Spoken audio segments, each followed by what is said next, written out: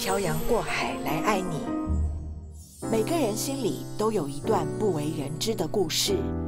我儿子家乡，他跟一般的小孩不太一样。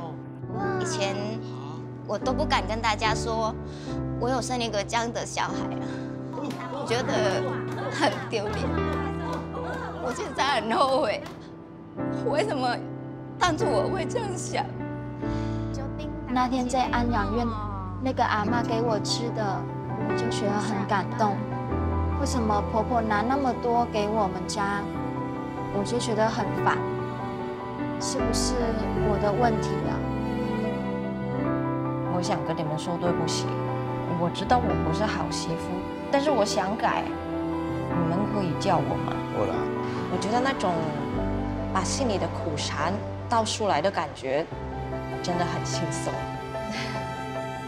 勇敢放下心里的执着，学习做一个更好的人，漂洋过海来爱你。周一至周五晚间八点。